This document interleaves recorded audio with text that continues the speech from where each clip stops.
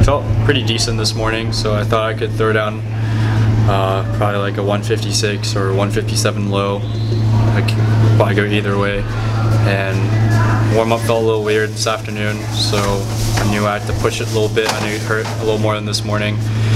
And uh, I just felt flat throughout the whole race. I'm trying to improve my breathing pattern, my body position. I just felt my upper body was working, but my lower body, I just had no pop through my hips and my legs. But uh, 157.3, out 55.7, last two 50s, you know, pretty consistent. Uh, I think I'm in a good spot. My training, um, you know, it, I have no pop right now, but I just feel like I can keep going, and that's the most important thing. So I'm, I'm happy where I'm at. So, yeah.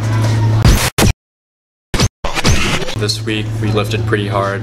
Um, we had one double this week, and all the afternoons were, were pretty rough up until the day we flew out in the morning. And you know, like I said, um, practice is starting to creep up on us um, from you know, weeks before after NCAA's. Yesterday, um, I don't know what happened. 51A was pretty good.